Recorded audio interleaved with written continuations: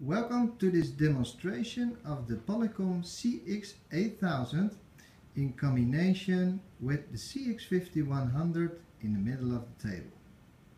You see on the table the touch panel of the CX8000. On the back you see on the screen you see the agenda on, uh, on the screen and on the table we got here the CX5100. On the left side we look here I got several products here on a document camera which we have integrated with the CX8000. First of all we'll go to Outlook Web Access or your Outlook client and you plan in a meeting. So today it is the 23rd of April, we say new.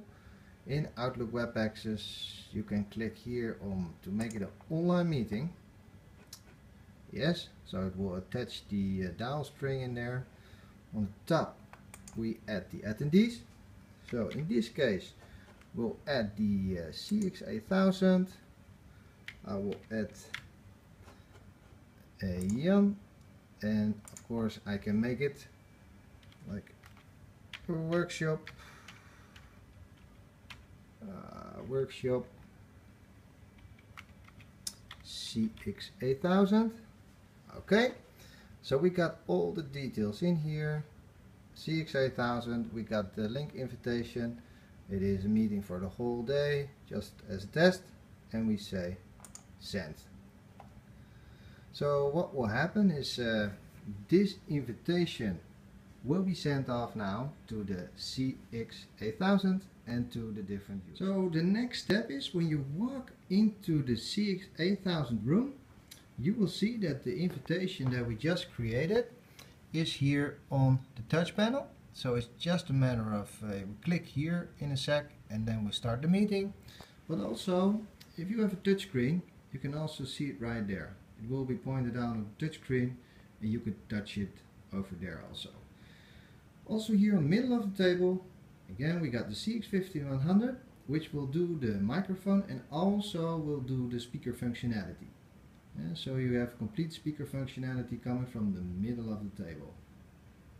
So now if I walk to the touch panel, I can do, as you see here the meeting, I can click on the meeting and then it says already joining the meeting.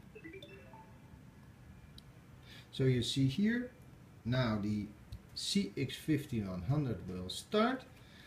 We'll use the camera in the 5100 and here on the screen also you see here the panoramic camera underneath and the active speaker will be visible on the top. So it's really just a matter of click, start the meeting and join. The next step is after the CX8000 has joined the meeting, you can go to the PC and using Outlook Web Access or Outlook to start the meeting. You click on join meeting and after that as you can see here, make the screen bigger, you see here now the CX8000 panorama view underneath and the active speaker will be at the top. Now the unique thing of the CX8000 is that it has a video input and you can add any stream from a document camera or anything else into the stream and feed it into the Lync client as a presentation.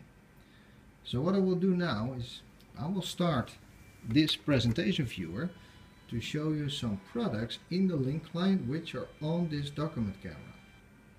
So now I turn it on. So when you go back now to the touch panel, you see it will ask you to approve everything I wanted to share. So maybe you want to give uh, some advice up front or something or talk about what you're gonna show. Then when you approve, you say yes. And that means as soon as you approve it, that our document or our like presentation, our product will be live visible on the CX8000. So you got the audio and video eh, here coming from the, uh, the CX5100 and you got here now the product uh, to, uh, to discuss about. On the PC side, see here the view on the PC and this can be uh, a user which is on his iPad, on his PC or on any device which will join the meeting and uh, is able to receive uh, the content, you will get now live the product inside the, the Lync meeting as a presentation. So let me walk up to the presentation viewer. For example, I want to review more on top. I can just move it up a little bit. And now what will happen is the view will change. So you really can give uh, a 3D view product a little bit you can really give a 3D view of the product so the top middle very very flexible and of course in the group or in the team we can discuss about the form the colors the details because it's HD quality so I think excellent example of the usage of the CX8000 in combination with the document camera using in Lync.